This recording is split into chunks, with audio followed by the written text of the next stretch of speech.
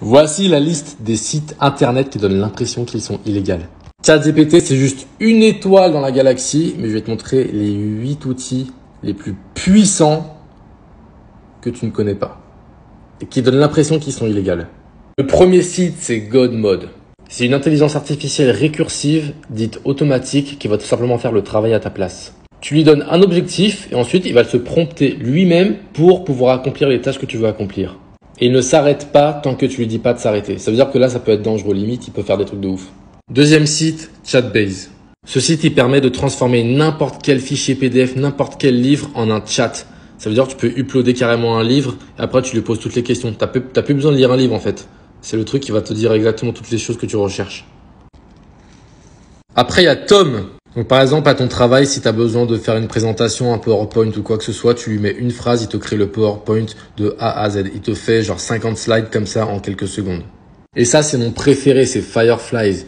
Quand tu fais des Zoom ou des Google Meet ou alors des Microsoft Teams avec tes collègues ou avec tes amis et que tu as besoin de prendre des notes, bah t'as plus besoin de prendre des notes. Ça, ça prend les notes pour toi. Et après, ça te fait un résumé. Ça fait une transcription complète. Et après, tu peux même lui poser des questions pour, euh, genre, euh, par rapport à ce qui s'est passé dans, dans la conversation.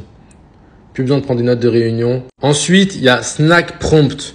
Bon, pour ceux qui se servent de chat GPT, vous savez qu'il faut savoir écrire des prompts. Et ce site-là, il te met les meilleurs prompts euh, pour n'importe quelle tâche que tu veux faire. Tu peux même les rechercher directement ici. Ça te permet de, de gagner énormément de temps et de donner exactement les bonnes instructions à chat GPT. Ensuite, il y a Tripe Notes. Ce site-là, il te permet de planifier tes vols et tes voyages en deux secondes. Grâce à ce site, tu n'as plus besoin de chercher tes itinéraires sur 10 sites internet différents. Là, il te donne les meilleures solutions.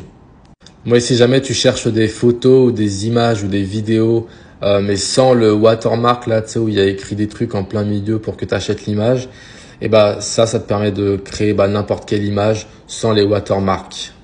Ensuite, tu as Perplexity qui vient compléter ChatGPT parce que les connaissances de ChatGPT s'arrêtent à fin 2021. Et avec ce site-là, bah, il va carrément chercher toutes les connaissances qui sont même, tu vois, en 2023. Ça va beaucoup plus loin et il comprend mieux le contexte que ChatGPT. C'est vraiment le vrai remplaçant de Google. Et en bonus, tu peux carrément aller sur ce site-là. Ça te donne tous les meilleurs outils d'intelligence artificielle selon la catégorie que tu veux, si tu veux faire du code. Bon, comme tu sais, ces sites, j'ai mis beaucoup de temps à les trouver, je m'en sers tous les jours et en plus, je t'ai même pas fait payer pour les découvrir. Donc, euh, abonne-toi et enregistre bien la vidéo pour pas la perdre.